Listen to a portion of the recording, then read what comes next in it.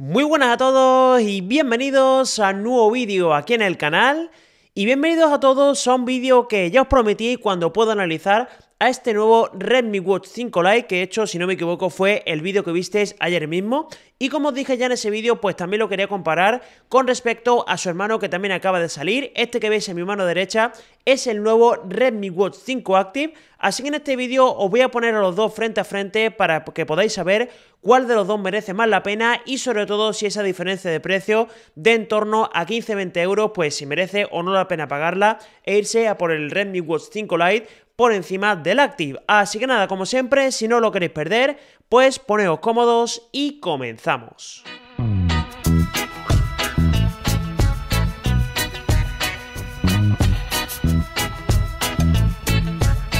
Pues nada, como os decía, voy a comenzar con esta comparativa entre este nuevo Redmi Watch 5 Lite y el Redmi Watch 5 Active y como siempre, pues quiero comenzar hablando por el apartado estético y aquí debo decir que Xiaomi por lo que ha hecho es exactamente el mismo reloj. Ya veis que, bueno, lo que es el diseño es exactamente el mismo, tanto por la parte delantera como también por la parte trasera, pero hay dos diferencias que me parecen bastante interesantes de comentar. Una de ellas es el lateral del dispositivo, que es verdad que los dos están fabricados en plástico, pero en el Redmi Watch 5 Active es un plástico con acabado mate por un acabado brillante que tenemos en el Redmi Watch 5 Lite. Es verdad que el brillante queda un poquito más eh, bonito, pero bueno, también es cierto que se raya con muchísima facilidad y también se ensucia un montón, así que personalmente me gusta un poquito más el acabado del Active. Y el otro detalle que en este sí que os debo admitir que el 5 Lite está mejor hecho es el tema del botón lateral, en este caso del lateral derecho. Es cierto que los dos lo incorporan, pero en el caso del Redmi Watch 5 Active tenemos una pulsación pues demasiado gelatinosa. Yo digo que al tacto no me gusta absolutamente nada, mientras que en el Lite sí que se nota que es una pulsación mucho más firme, un botón mejor diseñado, así que por ese lado la sensación es mucho mejor. Y en otra cosa que también cambian ligeramente es en el tema de las correas, que es cierto que las dos son de 22 milímetros y comparten también el mecanismo del pasador para poder intercambiarlas, de hecho son intercambiables entre sí, pero aquí la diferencia está en el cierre, ya que la del Active cuenta con un cierre muy parecido al que encontramos en las pulseras de Xiaomi, como la Xiaomi Smart Band 8 Pro, que es un cierre que, bueno, va a presión y sinceramente a mí no, no me convence demasiado, aunque no he tenido ningún tipo de problema con él, mientras que en el Live pues sí que tenemos un cierre mucho más tradicional que por ejemplo lo que encontramos en un reloj inteligente de toda la vida, con su hebilla y demás, que es bastante más seguro. Pero bueno, esto ya sabéis que depende de cada uno de vosotros, pero los dos me parece que están bastante bien, aunque si me tuviese que quedar con uno,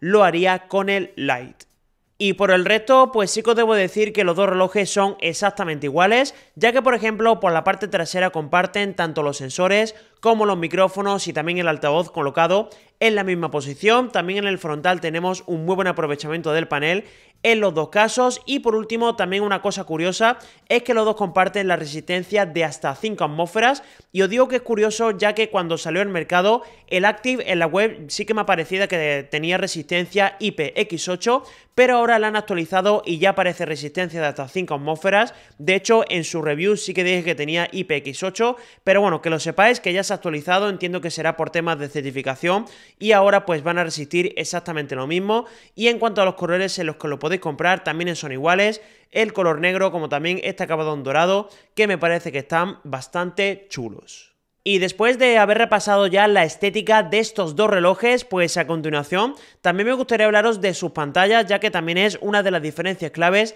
en esta comparativa. Comenzando por ejemplo por la pantalla que tenemos en el Redmi Watch 5 Lite, tenemos un panel AMOLED de 1,96 pulgadas con resolución de 410 por 502 píxeles y lo más importante es que corre a 60 Hz. Y en el lado contrario, pues tenemos a la pantalla del Redmi Watch 5 Active, que ya sabéis que es un reloj bastante más barato. Y en este caso, pues sí que es cierto que se pierde el panel AMOLED y tenemos un panel LCD de 2 pulgadas con resolución de 320 x 385 píxeles y también por supuesto corre a 60 Hz. Y aquí de la pantalla pues voy a ser bastante rápido ya que os debo decir que personalmente me ha gustado bastante más la pantalla que incorpora el Redmi Watch 5 Lite ya que esa tecnología AMOLED para mi gusto hace completamente la diferencia tanto a nivel de visualización como también cuando estamos en exteriores, el brillo máximo está muy por encima. Es cierto que la pantalla del Active pues no está nada mal, sobre todo por lo que pagamos por él, pero bueno, es que también hay que tener en cuenta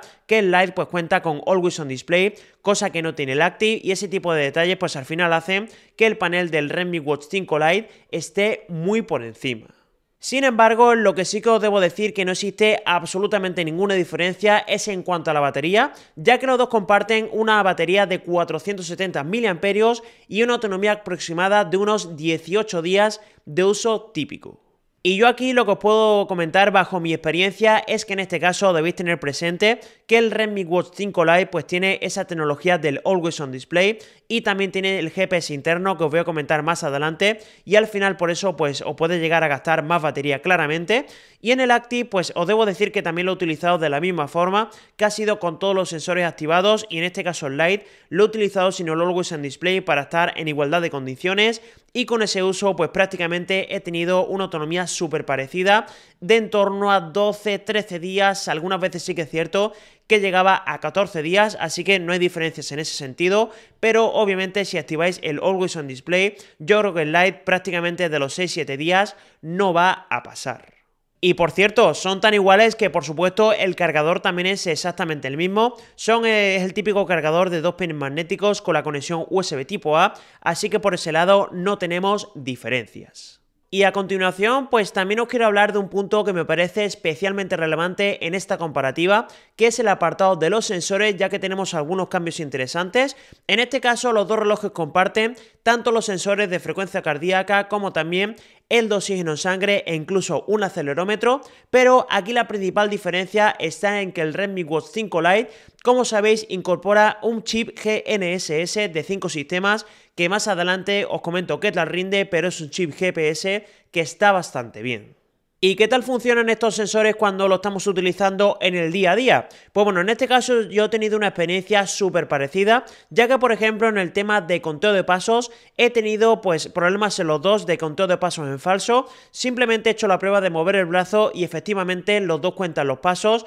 así que en ese sentido pues tampoco es que nos podamos fiar al 100% de los datos que nos da. En cuanto a la frecuencia cardíaca, aquí sí que os debo decir que los dos relojes me ha parecido que está bastante bien, sobre todo por lo que estamos pagando por ellos. De hecho, en el caso del Lite sí que tengo la sensación de que es un pelín más preciso en este sentido. Y por último, en el oxígeno en sangre, de nuevo tengo exactamente la misma sensación. Y es que en el Lite es un pelín más avanzado, me ha dado datos mucho más fiables que lo que me ha dado el Active, aunque así ninguno de los dos relojes me parece especialmente brillante en este punto. Y por cierto, también dejarlo claro que los dos relojes tenemos eh, otros conteos como por ejemplo el de sueño con incluso las siestas, tenemos el estrés y también el apartado de vitalidad ya clásico en relojes de Xiaomi que por suerte tanto en el Redmi Watch 5 Active como también en el Lite lo han incorporado.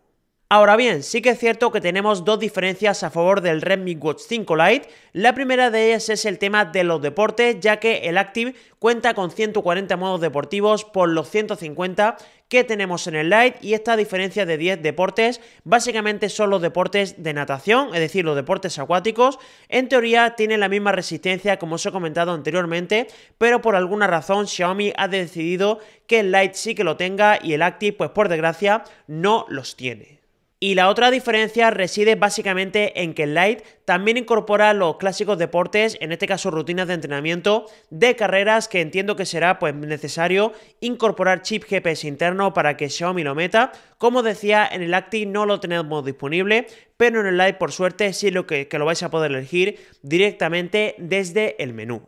Y ya que he mencionado el tema del GPS, pues también os quiero comentar cuál ha sido mi experiencia con este sensor en los dos relojes, aunque ya sabéis que en el Active no lo tenemos interno, así que tenemos que utilizar el del teléfono móvil. Lo bueno que sí que es cierto es que no tenemos que tener la aplicación abierta porque directamente iniciamos el deporte desde el reloj y nos va a buscar lo que es el GPS del teléfono de manera automática, únicamente tenerlo conectado por Bluetooth, obviamente eso no lo podéis perder, mientras que en el Lite pues sí que lo tenemos internamente, así que no es necesario llevar el teléfono con nosotros y además un GPS que os debo decir que me ha callado la boca porque de primeras pensaba que no iba a ser demasiado preciso ya que bueno es un reloj bastante barato y en este rango de precios pues suelen pecar de eso, pero debo decir como digo eh, me ha callado la boca completamente ya que tanto la recepción de la señal que es rapidísima, no prácticamente nada en pillarla, como también lo que es la calidad del GPS en sí, da una sensación, bueno, una sensación y unos resultados muy buenos cuando revisamos en la aplicación el recorrido,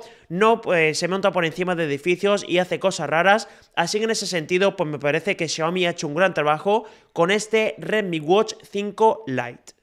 Aún así, sí que es cierto que estamos delante de relojes de gama baja, así que obviamente aquí no tenemos pues cosas más avanzadas como por ejemplo el leer rutas en formato GPX, ni tampoco poder exportarlas. Esto entiendo que más adelante lo meterán en relojes mucho más caros, pero en estos Redmi Watch 5, tanto el Lite como el Active, no lo podemos hacer. Y nada, ya para ir finalizando con la comparativa, pues únicamente me queda hablar de los dos últimos puntos. El primero de ellos es la interfaz, es decir, la interfaz en general, no la que está relacionada con los deportes y aquí os debo decir que tenemos exactamente lo mismo en los dos relojes, a excepción de esos temas que os he comentado, de bueno, las rutinas de entrenamiento, de carreras y también los deportes adicionales. Y aquí os debo decir que los dos obviamente se pueden eh, conectar tanto con teléfonos iOS como también con Android. Y lo único importante que os, debo decir es que ninguno de los dos podemos contestar eh, notificaciones con respuestas rápidas y la verdad es que es una auténtica pena. Aún así, sí que es verdad que tenemos algunas cositas interesantes,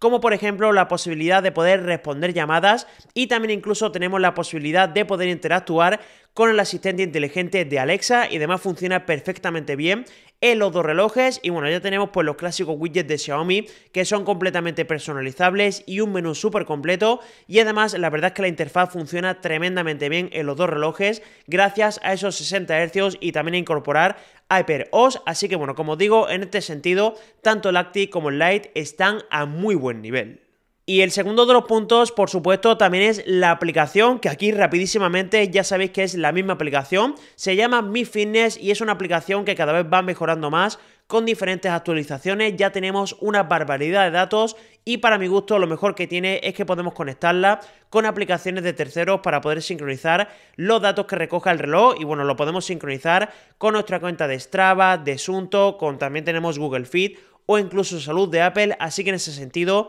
es hiper completa. Y ahora sí, ya cerramos con la comparativa y quiero cerrar hablando, por supuesto, del tema del precio, que me parece también un punto súper interesante y muy a tener en cuenta. En este caso, el nuevo Redmi Watch 5 Lite se puede comprar en España por un precio oficial de 52,99, mientras que el Redmi Watch 5 Active está a la venta por 35,99. Como veis, hay una diferencia de precio de unos 15-20 euros más o menos, aunque también es cierto que los dos ya lo podido encontrar por un poquito menos de dinero, así que como siempre os dejaré todos los enlaces en la descripción del vídeo por si queréis comprar alguno de los dos. Y ahora lo que me queda es responder la pregunta de si merece o no la pena pagar esa diferencia de 15 o 20 euros a favor del Redmi Watch 5 Lite o si por el contrario con el Active tenemos más que suficiente y yo aquí os debo decir además de manera muy rotunda que sí, completamente merece la pena pagar esos 15 o 20 euros más ya que en este caso contamos con un GPS de muchísima calidad